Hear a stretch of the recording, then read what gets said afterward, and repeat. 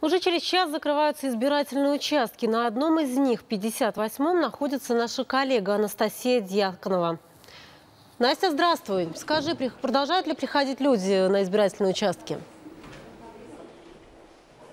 Добрый вечер, Марина. Добрый вечер, телезрители. Мы находимся на 58-м участке и сюда, в Ригу, все еще продолжают проходить, приходить люди. Отмечу, что приходят они такими волнами. Вроде то есть, то даже образовываются небольшие очереди. И есть еще час, чтобы прийти проголосовать, сделать свой выбор. Видите, урны еще, место э, в урне еще есть для ваших бюллетеней. Находимся мы на улице Канера, 15. Почему будем здесь? Э, всю ночь будем дежурить здесь. Посмотрим, как происходит подсчет э, голосов голосов. Э, до скольки будем работать, пока неизвестно. Все зависит от того, сколько людей придет э, на участок проголосовать. Напомню, остается еще час. Ну, о том, как прошел сегодняшний день, мы узнаем у главы э, комиссии, которая работает на этом участке, Кита Ичипа. Добрый вечер. Добрый вечер.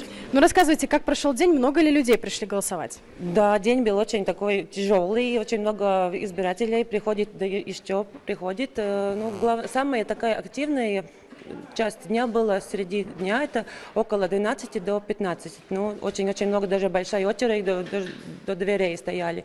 Но мы очень быстренько работаем, и так никакие задержки не, не, не были до сих пор. Думаю, не будет тоже. Ну, час еще остался, но думаю, что все будет хорошо. Ну, впереди у нас с вами теперь уже э, ночь. Как думаете, как предполагаете, долго ли будем работать? Как много часов понадобится, чтобы пересчитать все эти голоса?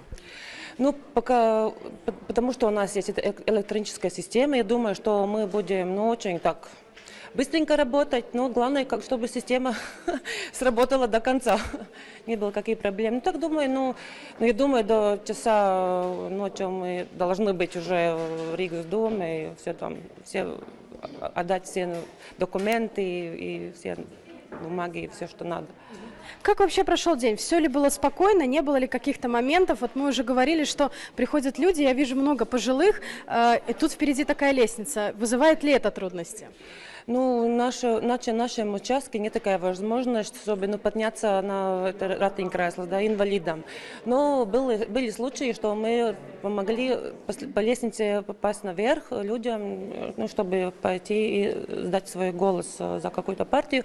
Э, ну, тогда этот человек, он приходит, но он не один, тогда он должен регистрироваться как помощник. Он тогда он может пойти в эту кабине, чтобы помочь избирателю сделать свой выбор. Но мы комиссии не можем помогать в кабине работать, только можем подняться по лестнице. Но мы сегодня тоже не сможем помочь комиссии почитать все голоса, но обязательно посмотрим, как это происходит, и расскажем уже, как сегодня ночью, в ночь выборов на ЛТВ-7, так и завтра в спецвыпусках на телеканале ЛТВ-7. Марина?